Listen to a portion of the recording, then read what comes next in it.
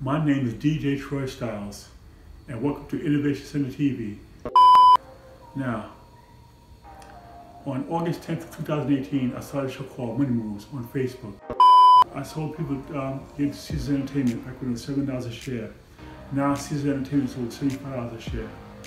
Look how much money you've made.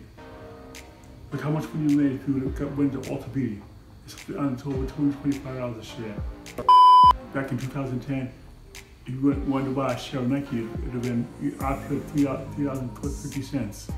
Now it's over $144 a share.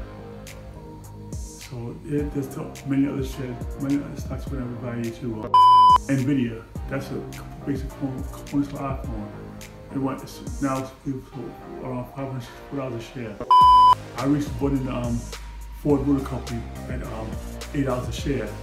Dollars. The price up here was eight, eight a share, and that's up over nine fifty a share, or nine twenty five a share. And uh, allegedly Tesla's going to buy it because um, how much, how bad could it be at nine dollars a share? And Tesla's up is, is uh, through the roof at over five hundred dollars a share. So who's gonna who's gonna afford who? Amazon and uh, Google. Those are up over two hundred percent this year so, so far this year. And also, one one stock I'm with that is uh, WWE. When I, I, I first told my brother about the stock, it was a, it was a thirty dollars and fifty cent a share. He wanted about a $90 share, and that went up to almost over seventy five bucks a share before it came back down because of the pandemic. So that means maybe this going to go up through the roof again.